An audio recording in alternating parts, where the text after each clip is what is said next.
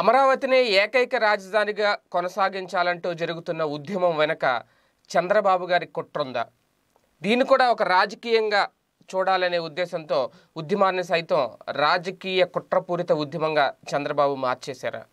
యావత్ రాష్ట్రం మూడు రాజధానులను స్వాగతిస్తుంటే చంద్రబాబు గారు మాత్రం ఎందుకు అమరావతినే రాజధానిగా కొనసాగించాలి అని చెప్పి ఇంకా డిమాండ్ చేస్తున్నారు. ఎందుకు?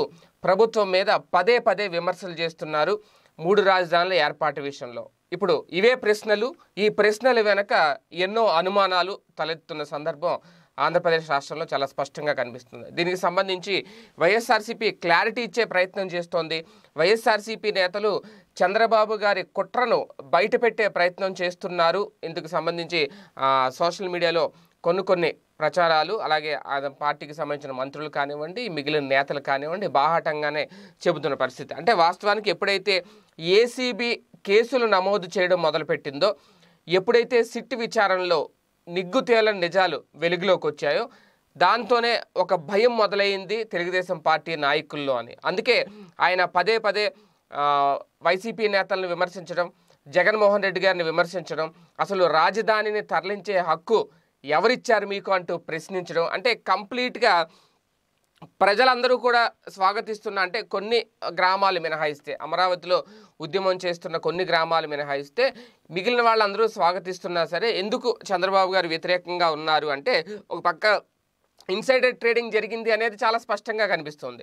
ఇన్సైడర్ ట్రేడింగ్ జరగలేదు అనడానికి ఆధారాలు చూపించలేకపోతున్నారు. జరిగింది అనడానికి ప్రభుత్వం తన దగ్గర ఆధారాలు ఉంది అని చెబుతోంది. ఆ పేర్లు లిస్ట్ కూడా గతంలోనే బయట పెట్టారు. ఏ సమయంలో ఏ తేదీన రిజిస్ట్రేషన్ చేయించుకున్నారు ఎవరెవరి పేరు మీద ఉన్నాయి వాళ్ళు ఎవరికి బినామీలు అనే విషయాన్ని కూడా చాలా స్పష్టంగా గతంలోనే ఆర్థిక మంత్రి బుగ్గన రాజేంద్రనాథ్ గారు బయట పెట్టడం జరిగింది. సో ఇటువంటి సమయంలో ఇప్పుడు తాజాగా ఆయన ఎందుకు ఈ ఉద్యమాన్ని తెర మీదకు తీసుకొచ్చారు అంటే ఆ ఎవరైతే బినామీలు ఉన్నారో ఎవరైతే ఇన్సైడర్ ట్రేడింగ్కి పాల్పడ్డారో ఎవరైతే రాజధాని ఏర్పాటుకు ముందు ఈ భూములన్నీ కొనుగోలు చేశారో.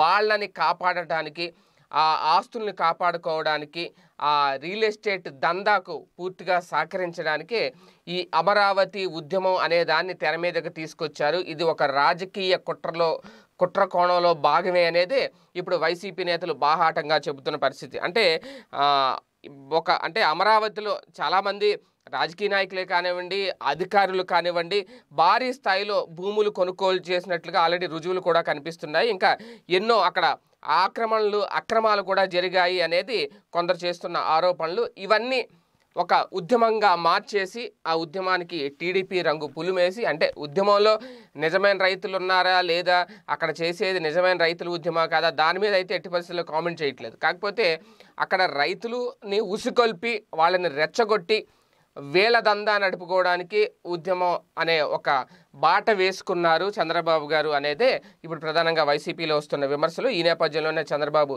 ఈ ఉద్యమం పేరిట ప్రజలను కూడా ఎంతగా మోసం చేస్తున్నారు అనేది కూడా తొందరలోనే ప్రజలకు అర్థమవుతుంది అంటున్నారు రాజకీయ విశ్లేషకులు. ఈ వీడియో గనుక మీకు నచ్చినట్లయితే లైక్ చేయండి షేర్ చేయండి. మరిన్ని వీడియోస్ కోసం మా ఛానల్ను సబ్స్క్రైబ్ చేయండి.